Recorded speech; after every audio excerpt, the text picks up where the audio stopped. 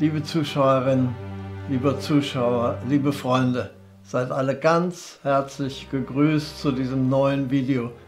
Ich möchte heute mit euch zusammen versuchen, auch die letzten Zweifel, die euer und unser Glaubensleben mit Jesus einschränken können, zu überwinden. Dazu eine Bibelstelle, Markus 9, Vers 24. Zugleich schrie der Vater des Kindes und sagte, ich glaube, hilf meinem Unglauben. Was wir unbedingt brauchen, ist die gesegnete Gewissheit in unserem Herzen, dass wir zu Jesus hin entrückt werden.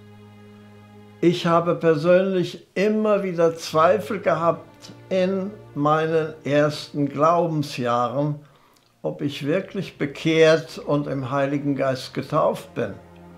Das war meine ganz persönliche Unsicherheit, vermutlich weil ich vaterlos aufgewachsen bin.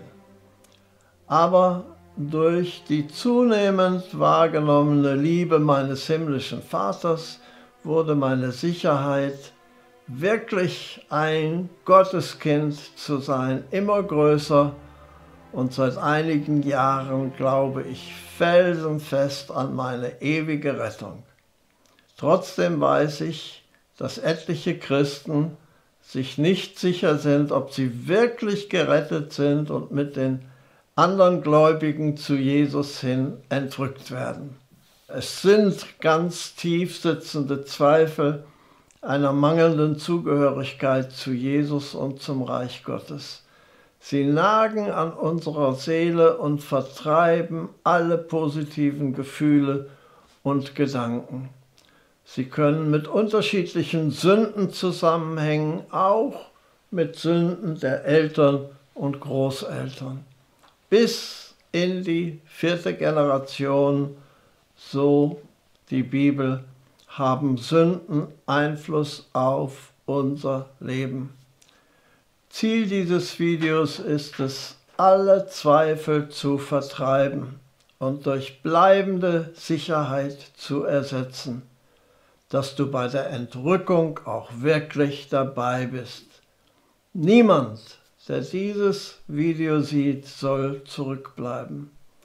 Aber wie schon gesagt, Längst nicht jeder leidet unter Zweifeln, was seinen Glauben an Jesus Christus angeht.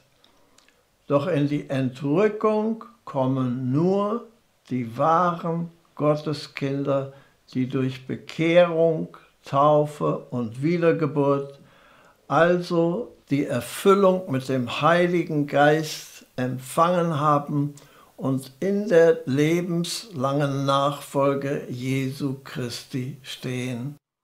Ich bete für euch alle, dass ihr bei der Entrückung in den Himmel zu Jesus mit dabei seid. Ich bin sicher, Gottes Heiliger Geist hat dich gerufen, gerade diesen Videoclip anzuschauen, um sicherzustellen, dass du bei der Entrückung dabei bist. Gott wünscht sich so sehr, dass alle gerettet werden. Lesen wir einen Bibeltext 2. Petrus 3, Vers 9. Der Herr verzögert nicht die Verheißung, wie es einige für eine Verzögerung halten, sondern er ist langmütig euch gegenüber, da er nicht will, dass irgendwelche verloren gehen, sondern dass alle zur Buße kommen. Es ist also ein Akt des Gehorsams, diese Prüfung vorzunehmen, eben weil Gott nicht will, dass du verloren gehst. Ein weiterer Bibeltext, Philippa 2, Vers 12. Daher, meine Geliebten, sagt Paulus, wie ihr alle Zeit gehorsam gewesen seid, nicht nur in meiner Gegenwart, sondern jetzt noch viel mehr in meiner Abwesenheit, bewirkt euer Heil mit Furcht und Zittern. Was also bleibt für dich zu tun? Prüfe als erstes, ob du Jesus vertraust, dass er dir gerade jetzt Sicherheit geben will, dass du gerettet bist. Prüfe als nächstes, ob du totalen Frieden hast bei dem Gedanken, dass du wirklich gerettet bist für Zeit und Ewigkeit. Was wäre, wenn der großartige Ruf Jesu, das Signal zu ihm zu kommen, gerade jetzt passieren würde? Bist du dir jetzt ganz sicher, dass du dabei bist? Wenn du überlegst und dann bejahst, dass du gläubig bist, dann hast du diesen Test bestanden.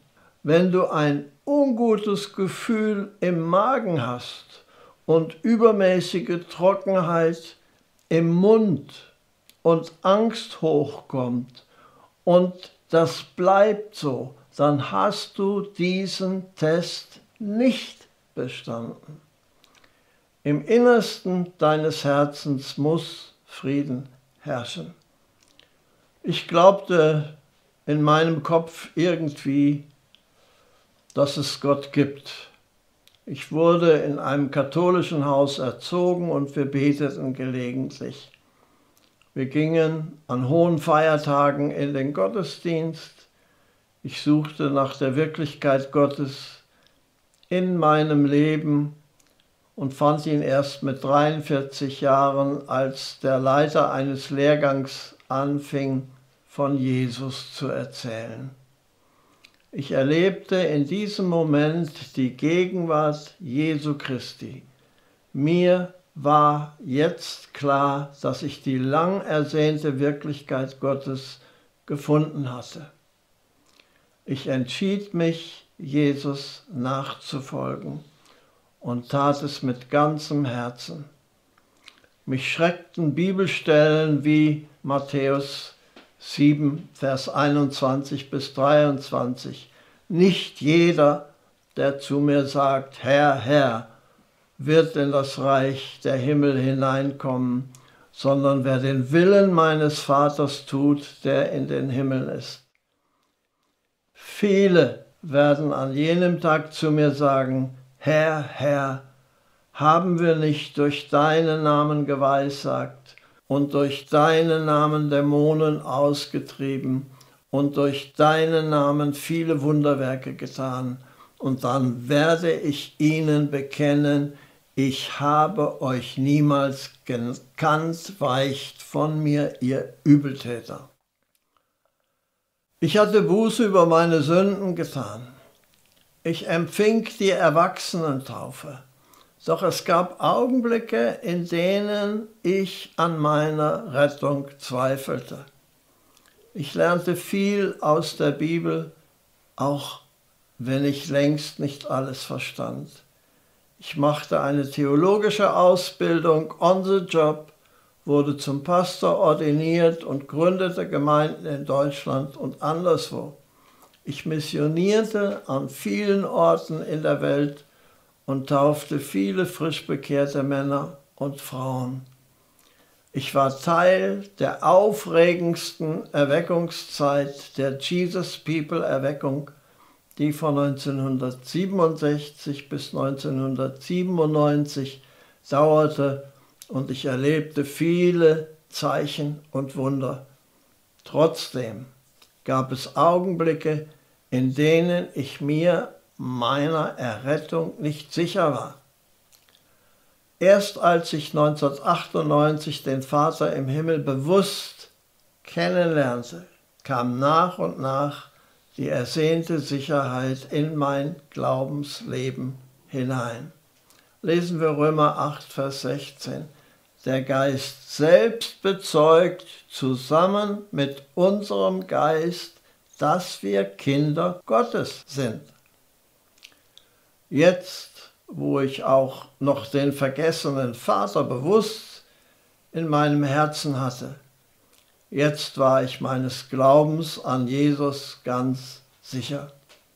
Noch ein Bibeltext 2. Korinther 13, Vers 5. Prüft euch, ob ihr im Glauben seid, untersucht euch Oder erkennt ihr euch selbst nicht, dass Jesus Christus in euch ist? Es sei denn, dass ihr etwa unbewährt seid. Was also suchst du? Geistliche Höhenflüge oder Gott selbst? Geistliche Gaben oder den Geber der Gaben? Vertraust du Gott auch dann, wenn deine Gebete noch nicht erhört wurden? Suchst du nach Selbstbestätigung oder suchst du deine Identität in Jesus allein? Beklagst du dich, wenn es mal nicht so gut läuft? Gehorchst du Gott, um Strafen zu vermeiden oder um Jesu Freude, Jesus Freude zu machen? Freust du dich auf den Himmel oder freust du dich auf Jesus?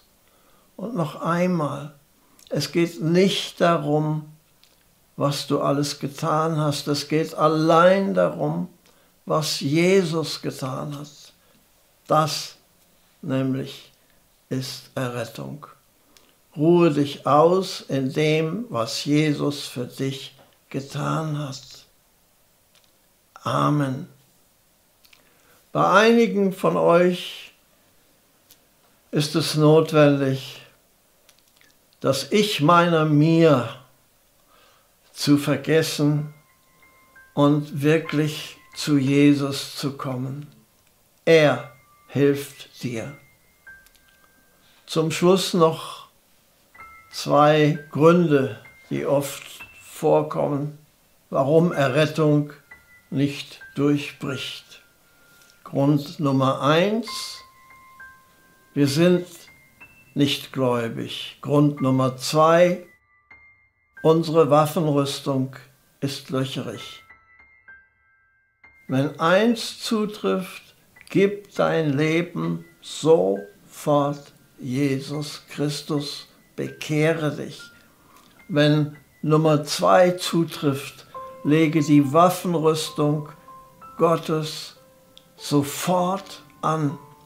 Schau dir den Video über die Waffenrüstung Gottes vom 1.4.2019 unbedingt an. Jetzt möchte ich mich von euch ganz herzlich und dankbar verabschieden für die schöne gemeinsame Zeit und euch segnen. Der Herr segne und behüte dich. Der Herr lass sein Angesicht leuchten über dir und sei dir gnädig. Der Herr erhebe sein Angesicht auf dich und gebe dir Frieden. Amen.